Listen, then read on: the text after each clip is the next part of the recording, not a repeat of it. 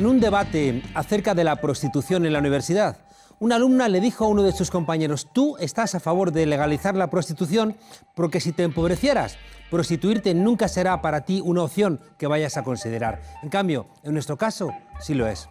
Prostituirnos cuando tenemos una mala racha es una opción constante para nosotras. Incluso aquí, en la facultad, le pasa a compañeras nuestras. El deterioro laboral en España lo pagan de manera agravada las mujeres. La situación en conjunto empeoró tras la reforma laboral del PP de 2012, agravada sobre la que ya habían construido los socialistas. De los contratos parciales que hay en España, tres de cada cuatro personas son mujeres. Son casi dos millones en esa situación. A diferencia de lo que ocurre en Europa, no tienen un trabajo parcial porque quieran, la mitad, un millón, lo hacen porque no tienen más remedio. Medio millón de ellas escoge voluntariamente una jornada reducida para ocuparse del cuidado de personas dependientes, entre otras. El 94,7% de estas razones las esgrimen mujeres. Los hombres no reducimos la jornada para cuidar a nadie. La derecha dice que es natural que las mujeres cuiden. Y cuando las mujeres no recuerdan a los hombres, que también es cosa nuestra, algunos las llaman feminazis. Cuando las mujeres recuerdan que es injusto que ellas carguen con el esfuerzo de parir, de cuidar a los hijos, de atender a los dependientes, de ocuparse de los enfermos, hay hombres que dicen que las mujeres criminalizan a los hombres por ser hombres. Inés Arrimadas, de Ciudadanos, ha salido en defensa de esos hombres que están hartos de que les llamen maltratadores por ser hombres. Pero nadie llama a todos los hombres maltratadores. Es la famosa falacia del hombre de paja, inventar un adversario solamente para parecer que tiene razón. Sí es verdad que votar a determinados partidos rema en la dirección del maltrato. Todas las políticas que empeoren las condiciones laborales perjudican especialmente a las mujeres. Así que votar al PP, a Vox o a Ciudadanos es colaborar con el maltrato, porque quieren un modelo de sociedad donde las mujeres no puedan ser iguales en todos esos ámbitos en donde la desigualdad les perjudica y tampoco pueden ser diferentes allí donde la exigencia de ser iguales las descaracteriza. Las mujeres quieren iguales salarios, igual acceso a puestos de responsabilidad, iguales pensiones, pero no quieren ser iguales a ese modelo de masculinidad que solventa los problemas gritando o con bravatas. No es igual una pelea entre dos tipos por un altercado de tráfico que un hombre dando una paliza a su pareja o a su expareja.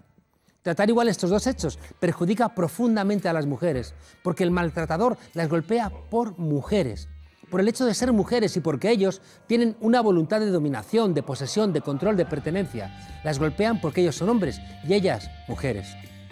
Podemos ha planteado que se retiren las subvenciones a la Real Academia si no hay paridad. He querido escuchar, no sé, me ha venido una imaginación de un académico de la lengua gritando, me vais a comer todas la...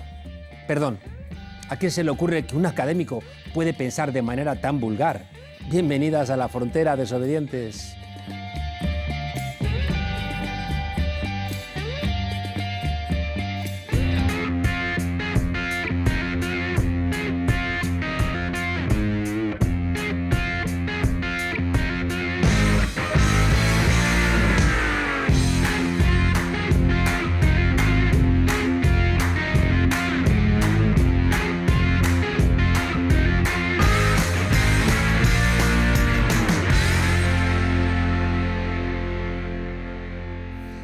Dijo el clásico, todo tiene una segunda oportunidad. Eso sí, como espectáculo.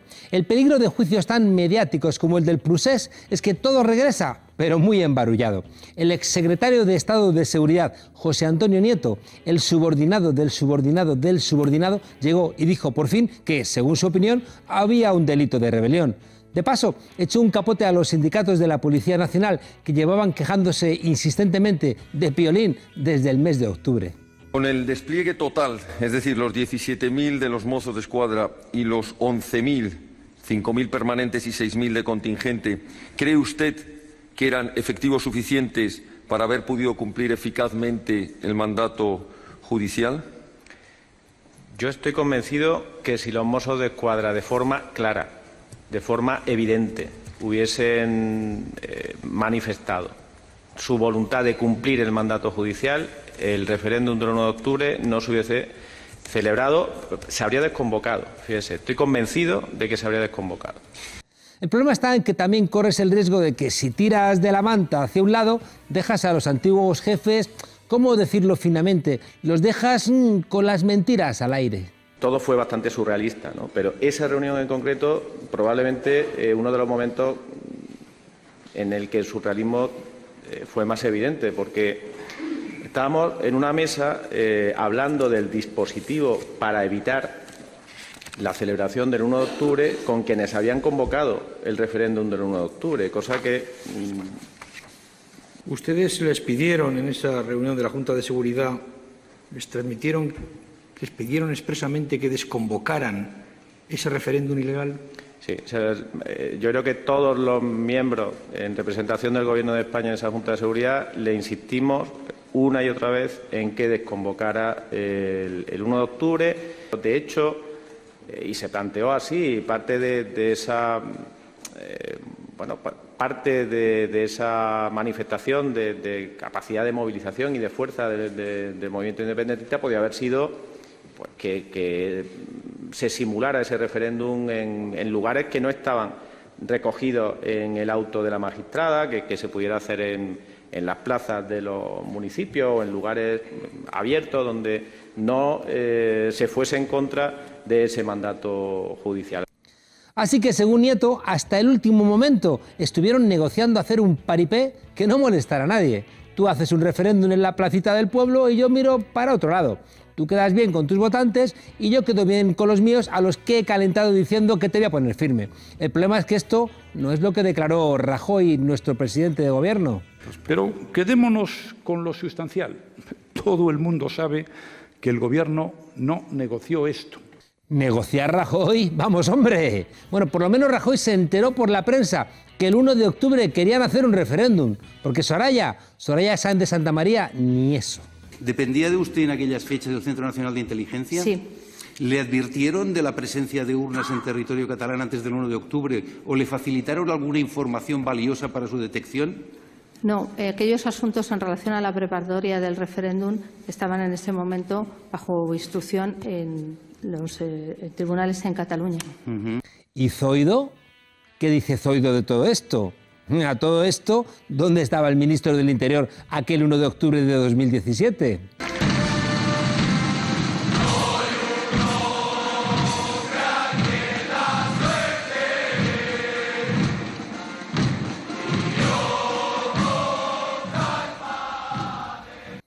En fin, que las hemerotecas las carga el diablo y cuando quieres darte cuenta te están acusando de falso testimonio u otra cosa peor, el subordinado del subordinado del subordinado diciendo que del ministro para arriba todos unos mentirosos.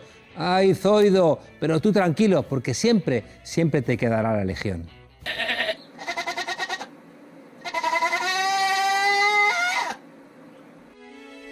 Balconland, la España de los balcones. El aclamado musical de Paul Marriott llega por fin a nuestro país tras arrasar en Broadway. A la España de los balcones hoy le quiero yo cantar, la España de Don Rodrigo, el Cid Día de Vivar, la España de Fernando, de Isabel, del gran capitán, del cardenal Cisneros, de José María Aznar, es la España popular. La España de los balcones en abril echar a andar, volveremos a ser grandes como en la era medieval. Las colonias hoy perdidas vamos a reconquistar. Cataluña y Filipinas lograremos doblegar. Es la España popular. ¡Hey! ¡Hey!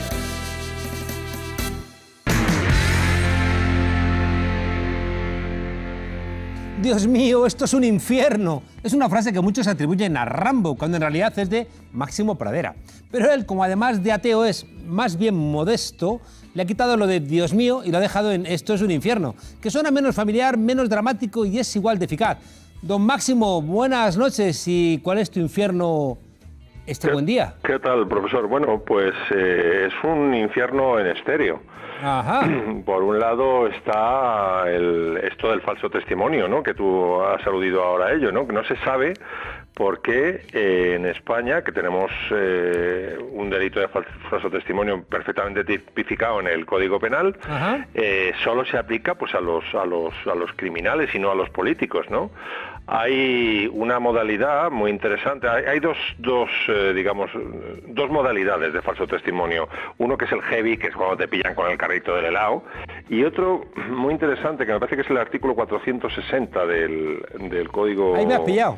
Sí, del Código Penal, que es la modalidad eh, light, ¿no? Que es que el dice, cito de memoria, el que sin faltar mm, sustancialmente a la verdad la alterare, ¿no te gusta el, el futuro subjuntivo? Me gusta, me gusta. La alterare, pues con, con reticencias, con silencios, ocultando eh, parte de lo que sabe, será castigado y tal. O sea que eso es un, no, no- no hace falta que sea una trola como un piano, ¿no? Entonces yo me pregunto si toda España se ha quedado con la impresión de que Zoido, por ejemplo, el exministro del Interior, el otro día faltó a la verdad y se, vamos, fue ridículo. Es una impresión general de todos los españoles, ¿por qué no se, como se dice en derecho, no se deduce testimonio de la, del- de la declaración de este señor eh, y por lo menos se abren diligencias por el, al menos por la modalidad light de, de falso Bueno, estos testimonio, mienten ¿no? gratis, estos mienten gratis todo No, el pues rato. es que eso se tiene que acabar porque es que si no, lo que pierde credibilidad es la justicia española. O sea, el, el falso testimonio, querido profesor, es un delito contra la administración de justicia, es una modalidad de obstrucción a la justicia. Y somos los contribuyentes los que financiamos la justicia. Nada más que de verdad. Si nadie va a, a- si ni siquiera se abren diligencias, nunca, por nada de lo que diga uno, uno, uno de estos políticos, ¿qué confianza vamos a tener? Es una de las instituciones mm, eh, es más esenciales junto a la educación, la sanidad, la justicia tiene que ser rápida y efectiva y, Mm. y- y- y verosímil, ¿no? Y como te digo Zoido, te digo Rajoy el otro día, cuando eh, todas estas eh, reticencias que eh, manifestó respecto a la cita con Urcullo, vamos a ver, ¿se citó usted, señor mío, o no? Luego va a Urcullo y confirma que, que- que- que, mm, tuvo la- el encuentro con Rajoy y que, y que medió, ¿no? En el, en el conflicto. O Aznar. Aznar, por Ay, ejemplo, Aznar. hay, en la comisión de, de la financiación ilegal del PP, Hmm. eh, en ese tipo de comisiones, cuando vas de testigo, también hay obligación de decir verdad. Ah, pues Y él, no- a- él- él a- se caracterizó por mentir implacablemente. Sí, sí, sí, sí, vamos a ver, el, el- el tipo me mintió en cosas, eh, mintió como un bellaco, mintió, vamos, le está recogido por, por toda la prensa eh, y encima haciéndose el chulito y luego la, la- la- la peña alrededor, ¿no? Mintió en cosas muy gordas como en, en negar que, que no había habido caja B y luego en cosas menores como la en relación a, a cierto profesor universitario que dijo que había defraudado 400... Mire usted, señor usted ha defraudado 425.000 euros a la hacienda pública. ¿Qué tiene usted que decir? Yo voy a imitarme como me diría Mota. Vamos a ver, señor Aznar, no tuve que devolver ese dinero porque lo hice en plazo legal, que es lo que ustedes no entienden, y les jode, y les jode que yo lo hiciera en plazo legal, y no hace nada que responder, que yo hice algo mal, y no es verdad. Algo así. Exact- Exactamente, el tío miente en datos que son perfectamente eh, objetivables, Mm. como la cantidad que, que tuvo usted que pagar, profesor, por, por, para ponerse al día, digamos, con la agencia tributaria, ¿no? En Esto es fin. uno de los infiernos que me, me tiene absolutamente quemado esta semana, ¿no? El que no se deduzca testimonio de las mm, declaraciones falsarias de toda la gente que está pasando por ahí. No va a ser creíble la justicia hasta que el delito de falso testimonio sea como en Estados Unidos, que es que usted se pasa de listo y va al trullo directamente, o le ponen una multa que lo dejan temblando. Algo avanzamos, ¿recuerdas cuando Aznar mintió diciendo que el atentado de Atocha había sido obra de ETA, ¿no? Y de alguna manera el pueblo español dijo, hasta que has llegado, bonito, ¿no? Y le Bueno, castigaron bueno, un Aznar poquito. con, Aznar con sus mariachis. Claro. claro, ¿Sabes claro. quién era uno de los mariachis? ¿Te acuerdas perfectamente? Acebes. ¿Sabes quién fue secretaria o jefa de gabinete de Acebes? La líder, la portavoza del, eh, del feminismo liberal, una de las portavozas que es la marquesa de Cazafuerte, Cayetana Álvarez de Toledo, que junto con Arrimadas se ha convertido en, en- en la reina del, del feminismo liberal. El feminismo liberal, que es? ¿Tú lo has entendido?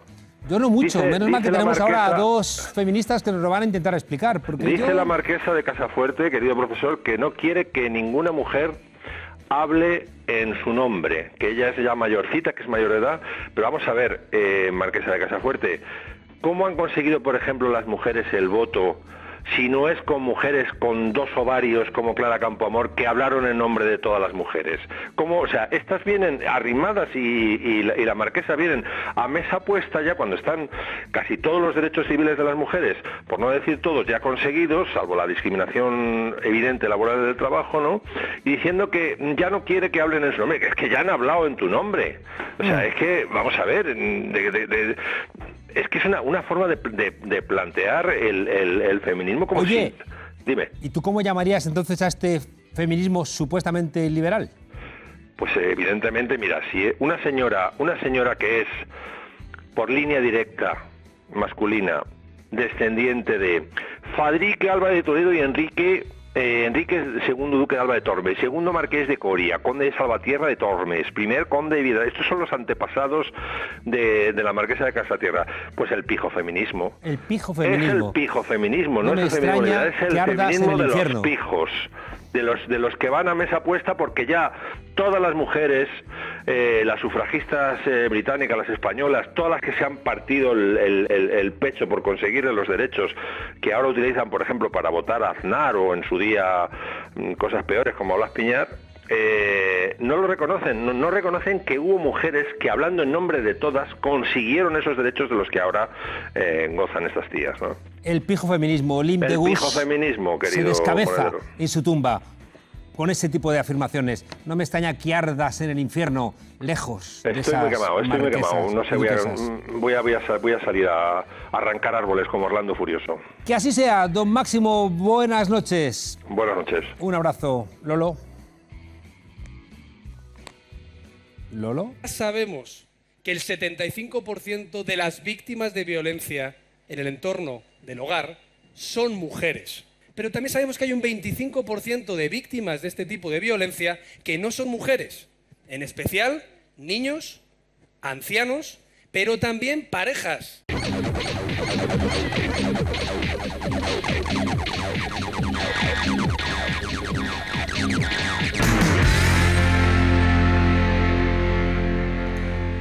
Pues el último 8M en nuestro país con la convocatoria de la primera huelga general de mujeres fue un punto de inflexión que marcó un hito histórico.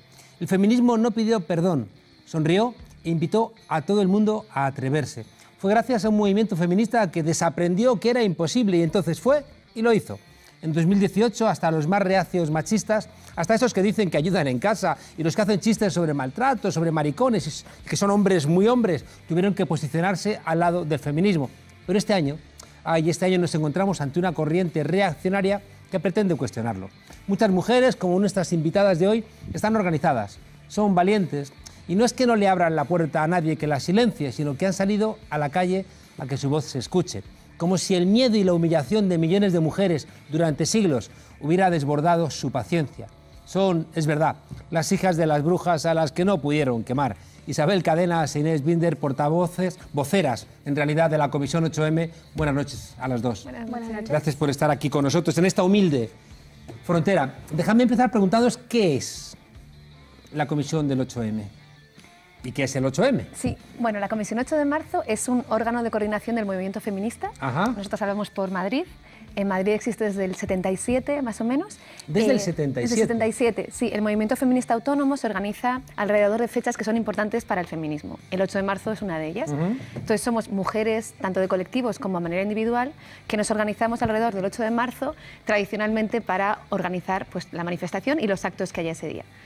Eso es la Comisión 8 de marzo. Eh, si quieres te explicamos más. Sí, no. Por ejemplo, una cosa importante es ¿Es un espacio de la sociedad civil? ¿Es un espacio de los partidos, de los sindicatos, Inés? Es un espacio autónomo, participamos ahí a título individual. Evidentemente, muchas tenemos dobles militancias porque participamos de distintos espacios, en las universidades, en los movimientos estudiantiles y, y, otro tipo de movimientos, pero en ese espacio participamos a título individual y como parte de la sociedad civil, como parte de un movimiento social. Supongo que, mm, como todas las organizaciones, tendrá problemas de organización que si viene desde el 77 habrán ido depurándose, ¿no? Ahí hay, hay una estructura de funcionamiento que pudiera ayudar a ese recurrente problema que tenemos en todas las organizaciones de no entendernos, de pelearnos, de fragmentarnos.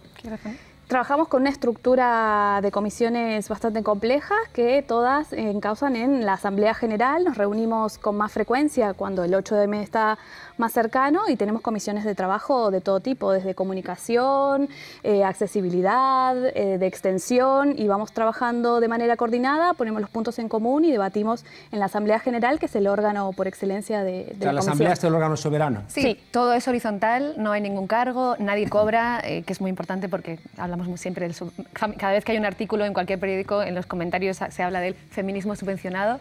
Bueno, nosotras ninguna, evidentemente la comisión cobra nada, nunca ha cobrado nadie nada, nos autogestionamos y nos autofinanciamos vendiendo chapas y camisetas eh, y, bolsas eh, y somos totalmente horizontales. En el mundo griego, por participar, pagaban desde la reforma de Clístenes. O sea que es que si no parece que solamente van a poder hacer política al final los que tengan renta o... Bueno, o tiempo, y tiempo y energía, porque también hay muchísimas asambleas de pueblos y de barrios que con su tiempo, incluso con su propio dinero, están organizando actividades de todo tipo, por ejemplo las que estuvimos proponiendo con estos ocho días de revuelta que preceden al 8 de marzo. Ajá.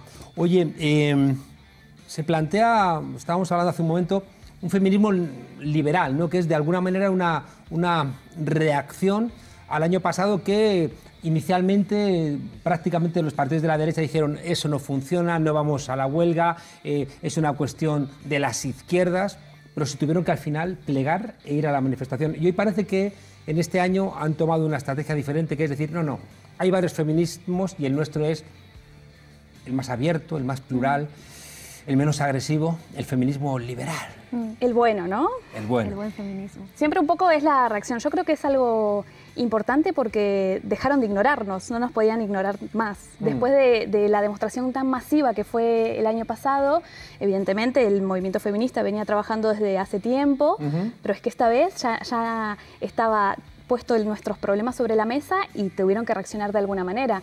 Y evidentemente, eh, cuando no nos pueden ignorar, lo que hacen es tratar de que nuestras propuestas políticas vayan en sintonía a las suyas. Y evidentemente ahí hay contradicciones eh, muy fuertes. Un feminismo eh, que no cuestione las estructuras económicas de la sociedad es un feminismo que se queda en la nada y es un poco el que pretenden. El feminismo de Ana Botín, que en realidad lo que quiere es que trabajemos en casa mientras cuidamos, o sea, dos jornadas eh, laborales en paralelo. Entonces, eh, es, una respuesta, yo creo que a la contundencia de las propuestas políticas del feminismo. Mm. Albert Rivera, que me parece un idiota en términos griegos, ¿eh? un idiotés, ¿no? que no termina de entender las cosas públicas. El año pasado fue un idiota queriendo llevar la pancarta del 8M. Y este año es un idiota haciendo bromas en la presentación de, esta, de este feminismo liberal sobre el lenguaje inclusivo. ¿Es realmente liberal el feminismo que ha expresado en ese decálogo Ciudadanos? depende de cómo definamos liberal. De todas maneras, el feminismo Bueno, del liberal, pensamiento liberal del siglo XX, del siglo XIX. El, feminismo liberal existe hace muchos años, o sea, no es mm. una cosa nueva. Nosotras vamos mucho, bueno, en charlas que tenemos así en Europa, están muy preocupadas con el feminismo, liberal. Y aquí, hasta este momento, no, era, no parecía que era un problema, ¿no? Tampoco creemos que sea un problema ahora. De hecho, para nosotros es una victoria política, que gente que antes no hablaba de feminismo o que usaba el feminismo para, para reírse de él, ahora de repente esté, esté llenándose la boca de feminismo. Lo que pasa es que hay, y hablando de desigualdad y de violencia. Nosotras también luchamos contra la desigualdad y la violencia. Lo que pasa es que sabemos que no sufres violencia de la misma manera si eres, eh, si estás en el consejo de administración de una gran empresa o si eres una mujer eh, trabajadora doméstica que no tiene papeles. Mm. Y nosotras hacemos una huelga para y con todas esas mujeres, sobre todo con todas esas mujeres que son nuestras compañeras de asamblea. Por eso os planteaba que a mí me parece que es un feminismo más neoliberal, es decir, que los liberales, por ejemplo, entendían el papel del Estado para garantizar determinadas cuestiones, ¿no? no esta gente que eh, lo que parece que piensan únicamente es el derecho a, a, unas determinadas mujeres a ser presidentas de consejos de administración de grandes empresas. Y tengo la sensación de que ahí se termina su reivindicación. Es que hay, problemas que nos atraviesan a todas, como la violencia, por ejemplo, que al final eso no, es una cuestión de clase social, todas sufrimos la violencia, pero es verdad que no la sufrimos de la misma manera todas las mujeres. Y quizás para ellas el problema es el techo de cristal, como su gran reivindicación. Pero es que a veces no podemos ni siquiera soñar ni ver ese techo de cristal cuando estamos en los suelos pantanosos, no podemos salir, no tenemos las mismas oportunidades. Entonces, eh, se, nos quedan, se nos quedan cortas esas reivindicaciones, son, son los problemas para las personas privilegiadas, mm. pero la mayoría de las mujeres no son privilegiadas porque la pobreza tiene cara de mujer. Claro. Oye, hay un salto de gigante cuando el año pasado no se convoca un 8M tradicional, sino que se convoca una huelga, que los sindicatos dicen que es imposible, que no va a funcionar y al final funciona. Huelga de cuidados, de consumo, laboral y estudiantil. ¿Qué significan estas cuatro modalidades de huelga incorporadas a las reivindicaciones de las mujeres? Huelga educativa, porque no es solamente vinculada a las problemáticas de, las estudiantes, sino también de todo el sistema educativo en general, porque tenemos reivindicaciones, por ejemplo, exigir que haya educación sexual integral eh, en, los, en los colegios. En los, acá colegios es solamente la primaria, ¿no? En los centros educativos. Eh, nosotras quisimos desbordar el concepto tradicional de huelga, porque siempre se asociaba las huelgas a las huelgas laborales, pero nosotras eh, queríamos llevar esta huelga a todos los ámbitos de la vida, porque nuestros problemas no solamente están en el espacio público y en los centros de trabajo, sino también en, el espacio privado, en nuestras casas, en cómo se organiza la reproducción de la vida. Por eso propusimos estos cuatro ejes que nos parecía que organizaban estas las reivindicaciones que teníamos. La huelga de cuidados, porque somos nosotras las que estamos cuidando y la, reproducción de la vida eh, depende de nosotras. Y cuando nos insertamos al mercado laboral, no es que nos eh, quedamos sin esas tareas, sino que se nos sumó una doble carga. Eh, también tenemos la huelga educativa, como, como decíamos, que también implica a las profesoras y, al personal no docente de los institutos y los centros educativos y la huelga de consumo, porque justamente ahí estamos haciendo nuestras reivindicaciones de un sistema que nos excluye, que nos explota, tenemos que pensarlos en términos globales, no solamente podemos pensarlo a nivel, eh, a nivel español, pero las, las, cadenas de cuidados globales, donde justamente las mujeres que trabajan en, trabajos domésticos son muchas veces eh, racializadas inmigrantes, entonces tienen muchísimas capas de, discriminación encima. Mm. Hay una cosa que los hombres no terminamos de entender y es que el 8M no se trata de que vayamos a la huelga, que está bien el que pueda ir, sino que se trata seguramente de que te quedes haciendo esas tareas que hacen cotidianamente las mujeres para que ellas puedan ir a la huelga. Sí, bueno, la pregunta de qué hacen los hombres en, la huelga es una pregunta que tiene un reflejo también en la sociedad. ¿no? Nosotros decimos muchas veces que hacemos huelga precisamente para que nos dejen de preguntar los hombres qué hacen en general. ¿no? hablamos siempre del post-it en la nevera, ¿no? como no os vamos a decir tampoco en la huelga lo que tenéis que hacer. ¿no? Eso para empezar. De hecho, hay muchos hombres que llevan organizándose ya varios meses para organizar los puntos de cuidados, que son mm. puntos en donde las mujeres podemos ir eh, durante ese día no solo a dejar a nuestras criaturas o a dejar a nuestras personas mayores, sino a descansar, a comer, a hacer esas cosas. Eh, es muy importante recordar que la huelga no es solamente una huelga laboral, porque muchas veces cuando nos preguntan si los hombres pueden hacer huelga, nos están preguntando si los hombres pueden hacer huelga laboral. Mm. No hay muchos hombres que nos hayan preguntado si pueden hacer una huelga de cuidados, por ejemplo, ¿no? Eh, no, sé por qué no nos lo preguntan. Mm. Eh, y nosotros decimos que la huelga claramente es una huelga para todo el mundo, pero es una huelga que tenemos que hacer las mujeres. Es una huelga que, como ha explicado Inés, trata de visibilizar el papel que tenemos las mujeres en la sociedad. Esto no es una huelga general, y de ahí te voy a corregir, Juan Carlos, porque mucha gente, bueno, has hablado de huelga general feminista, esto no es una huelga general feminista, es una huelga feminista. ¿He dicho general? Sí, ah. no es una huelga general. No, una huelga general, de hecho nosotros... No, una huelga general es una huelga general. Claro, eh, pero bueno, mucha gente, hay, hay, a veces que hay confusión de términos y es mm. normal, ¿no? Eh, porque es verdad que el año pasado muchas mujeres que hicimos huelga lo reinventamos todo, reinventamos la huelga que es una herramienta de la clase obrera para conseguir, mm. conseguir mejoras laborales, ¿no? Y nosotros pensamos cómo, puede, cómo podíamos hacer que una huelga general fuera realmente una huelga general. Porque una huelga general hasta ahora no había sido una huelga de todo el mundo. Porque ¿quién llevaba el, el bocadillo al piquete? ¿O quién se quedaba cuidando de los niños o las niñas en la manifestación? Tradicionalmente las mujeres. Y estábamos ejerciendo un trabajo de cuidados que es un trabajo bastante importante y por el que también estamos como oprimidas. ¿no? Nos han mandado algunas preguntas por Twitter que me las van a soplar. Eh, porque no las tengo aquí encima, pero mientras que me las soplan, dejadme haceros un par de preguntas.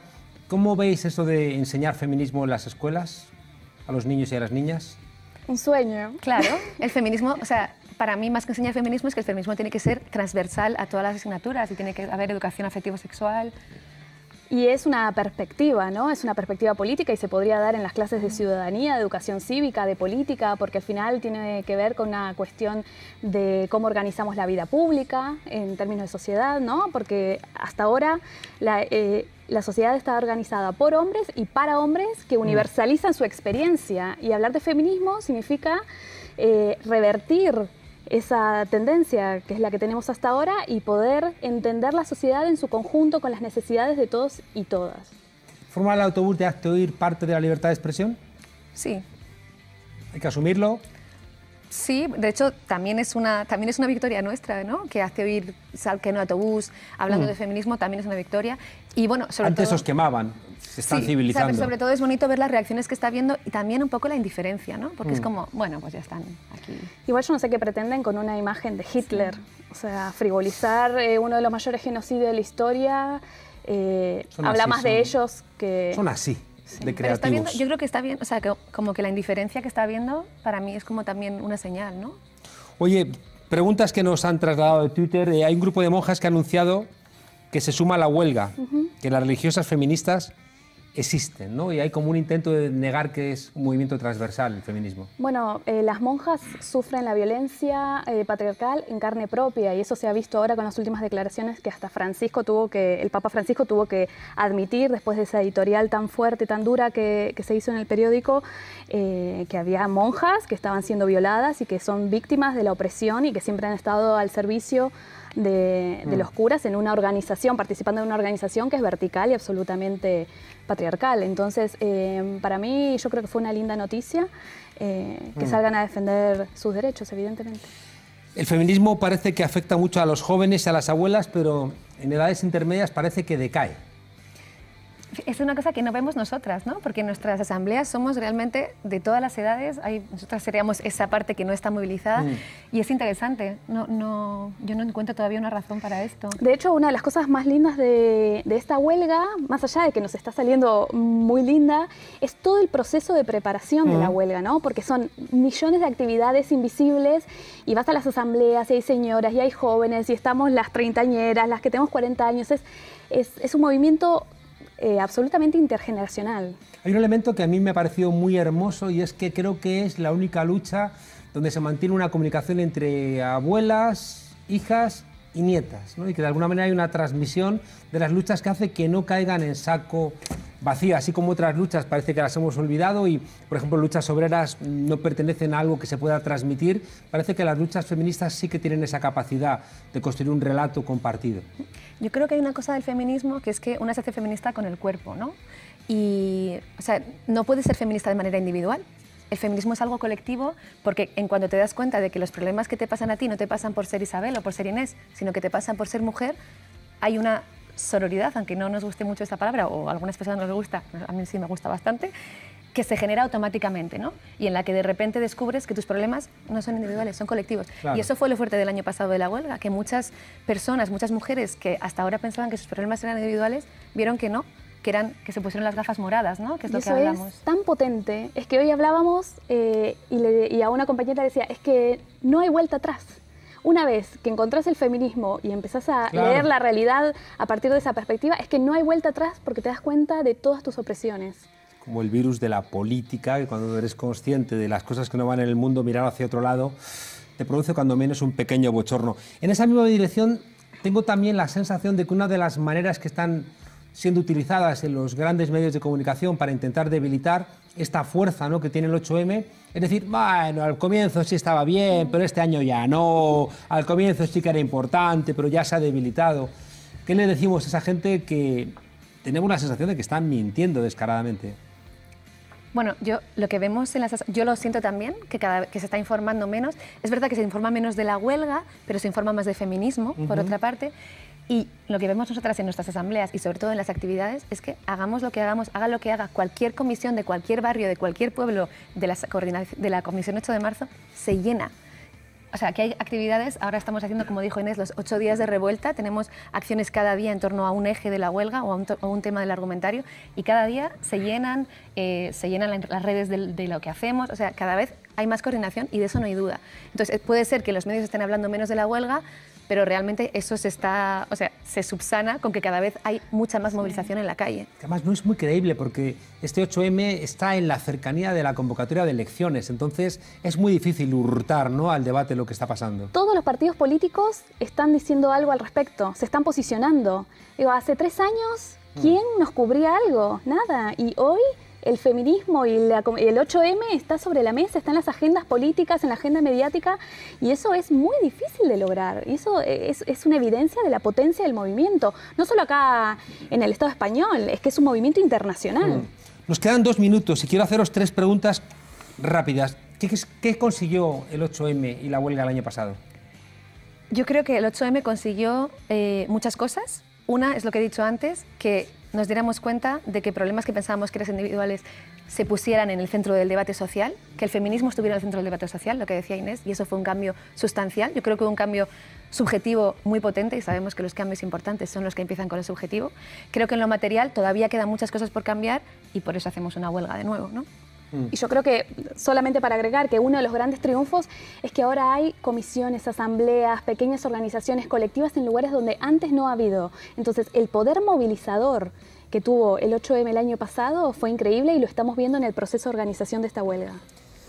¿Por qué hay que hacer huelga este año? ¿Por qué no? ¿Por qué no, primero? Y dos, porque la huelga es un momento para que las mujeres, uno, pensemos, la, huelga también es una herramienta de diagnóstico. ¿Por qué, puedo hacer, ¿Por qué hago huelga? ¿La puedo hacer? ¿No la puedo hacer? Querer hacer huelga y no, poderla es tan y no poder hacerla es tan poderoso, es preguntarte sobre tus condiciones materiales, es preguntarte sobre la opresión que estás sufriendo en cada momento. Y eso es súper potente. Por lo menos hay que plantearse hacer huelga o no. Y por supuesto, hay muchas mujeres que están inventando sus propias maneras de hacer huelga nuestras compañeras de territorio doméstico, que son trabajadoras domésticas, que no están en el régimen general, que no tienen derecho a huelga, están movilizando las que más, poniendo delantales en las ventanas, haciendo vídeos, saliendo a las calles. Y eso lo han hecho compañeras que no pueden hacer una huelga tradicional, pero están haciendo una huelga súper poderosa. De construcción de conciencia, decía Albert Camus que, que las ideas que transforman el mundo son ideas que primero transforman a las personas, que las expresan, que las conciben, que las, que las articulan. Y nada más hay que ver a, a Inés y a Isabel para darnos cuenta de que su entusiasmo forma parte de una idea que transforma el mundo. Muchísimas gracias a las dos. Eh, un abrazo a la comisión del 8M. Gracias por, por abrir esta ventana de esperanza, porque, porque cuando parecía ¿no? que la política volvía a entrar en un cierto estancamiento, creo que esta emergencia feminista creo que interroga todo, interroga la ecología, interroga nuestra manera de entender nuestro país, interroga mm, a la inmigración, interroga prácticamente a todo y creo que, ese entusiasmo y esa voluntad de diálogo que expresáis y esa alegría creo que, creo que es muy esperanzadora. Gracias a las dos. Gracias. Hasta pronto. Lolo, eh, no sé, que vuelen las flores.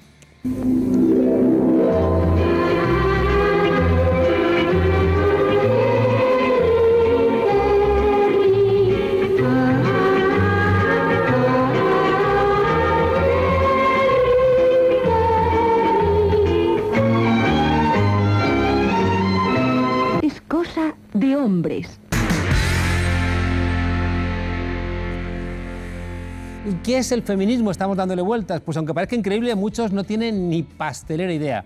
Hoy nos acompaña Richard Salamanca, que no es que sea un doctor en esta materia, pero sabe distinguir entre un señoro y un machirulo. Richard, buenas noches. Eh, te mentiría si no te dijera que tengo cierta sorpresa por tu atuendo. Pues sí, porque me he rapado la cabeza y me han dicho que me parezco al protagonista de la serie Vikingos, a Ragnar Lock, y bueno, pues me he vestido como un vikingo. Pues y ya que vamos a hablar de feminismo, pues me parecía muy gracioso que lo hiciera un vikingo. Los vikingos no me da que fueran... Ya, por eso. Un prototipo de feminismo. es el machirulo, el, machirulo original, el vikingo. Aunque las mujeres también tenían su papel, ¿no? E incluso a veces iban a a conquistar y esas cosas. Eran guerreras. pero principalmente dejaban que se quedaran en casa procreando, porque si no se extinguían. Oye, estamos a tres días del 8M y yo he descubierto que hay mucha gente que no sabe lo que es el feminismo.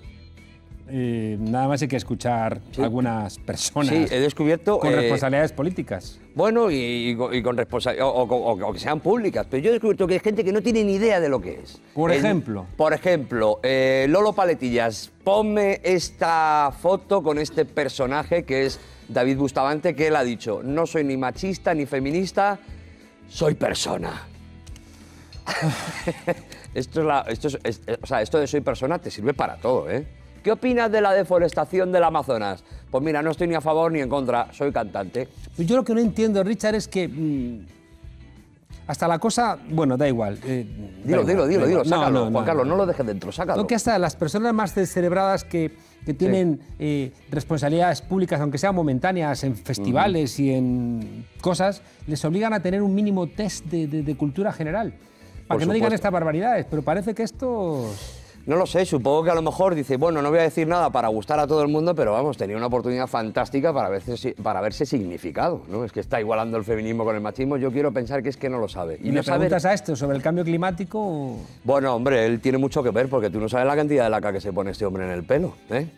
Otro hallazgo, otro hombre que no sabe lo que es el feminismo, exministro de Agricultura, Lolo Paletillas, lánzamelo. Arias Cañete. El regadío hay que utilizarlo como a las mujeres, con mucho cuidado, que le pueden perder a uno. Comisario europeo.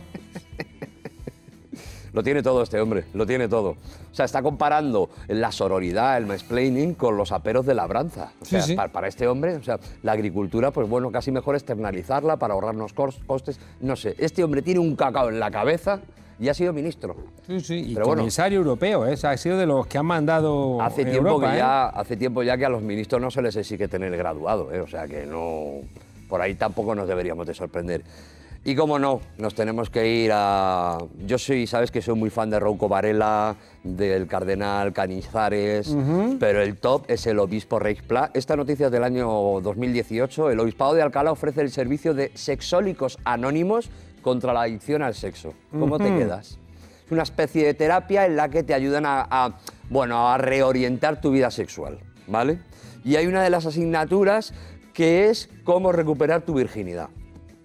Ah. Dirigida a las mujeres, claramente, porque la virginidad en los hombres, pues es, es eso, eso no, no tiene ningún sentido. ¿Y cómo, cómo se logra eso? Pues son cinco pasos, cinco pasos. Lo he traído escrito porque igual incluso lo podríamos publicar, porque yo estoy viendo últimamente libros publicados con menos texto. O sea que en un momento dado, el primero, no te acuestes con nadie hasta que te cases. Si ya has cometido el error con 18 años de conocer los placeres del sexo, tienes una posibilidad de, de salvarte. No te acuestes con nadie hasta que te cases, ¿vale? Es como lo de los nudillos. ¿Tú te acuerdas que hacíamos en el colegio? Hacía así, ¡clac! y sonaba. ¿Cuánto tiempo había que esperar para que esto recargara y volviera a sonar? Pues él yo creo que entiende la virginidad desde ese mismo Así, punto ¿eh? de vista. Sí. Oye, si alguno no ha resistido la tentación, ha pecado y... Bueno, todavía se puede salvar. Eh, Pla dice, Juan Antonio dice que te apartes de la gente, de lugares, de cosas y situaciones que debiliten tu control. Básicamente, que evites salir, relacionarte, que evites comprar cosas. Pero ya me dirás, si estás en casa, no te relacionas, no compras cosas... Es que te prohíbe hasta Amazon. Y No supongo que eso de besarse... Bueno, eso de besarse evita el contacto físico con los demás, solo el beso mofletero, este que te das Ajá. con tu, con tu familiar, con tu segundo primo, que hace que es un golpazo aquí en el moflete, en fin. Eh, y luego, sobre todo, tienes que encontrar medios de transmitir tu amor a las personas, pero, que, pero evitando el contacto físico. Quiere decirse que las emociones las verbalices. Yo ahora mismo digo, Juan Carlos, te quiero, y ya está, y tú tienes que decir... Yo también te quiero, Pues muy vikingo. bien. con eso y con, Ay, con control y autodisciplina se puede recuperar la virginidad. Pues esto suena al Opus Dei, ¿eh? Control y autodisciplina. Ducha Totalmente. fría por la mañana cuando te levantas tempranero. ¿Sí? Así es. Hombre, lo que pasa es que si no sales, no te relacionas, no dejas que te toquen, no hablas con la gente, hombre, posibilidades de tener sexo eh, son pero, complicadas. ¿eh? pero mira ahí cómo están los monasterios. ¿Sí? Llenos de pecado. Creí que decías llenos Rocío de pecado. Monasterio. Rocío En fin. Monasterio. Ay, cómo adoro a esta mujer. Pues nada. Oye, y calcetines. eh, Ah, bueno, hombre, si lo que quieren es potenciar que no, que no practiquen sexo a las mujeres, pues vamos a apretar un poquito más. Calcetines obligatorios para los hombres, en el universo heterosexual que ellos conciben, eh, que, no, no, que, no, que no se laven, que no se laven. Esto puede ayudar. Yo Porque, que soy mucho de calcetines vikingo. ¿Sí? Sí. y camiseta imperio. Bueno, eso ya menos, pero... Te he visto, te he visto en Cádiz, te he visto en Cádiz en veranito. Juan Yo Carlos. duermo con calcetines y unas gotitas de Chanel. Anda. Vikingo, ahí te quedas. Perfecto. Desobedientes, seguimos rumbo al 8M. Eh, como decíamos, nos salen, nos salen gentes que quieren frenarlo. Y os hemos puesto un teléfono para que cualquier tipo de asunto que consideréis que aquí tiene que ser tratado en esta humilde frontera tenga su espacio. Ahí tenéis el teléfono 634-270-379 desde la certeza de que el señor obispo no va a hacer caso a sus propios consejos. Ahí os dejamos. Hasta mañana, desobedientes. Vikingo.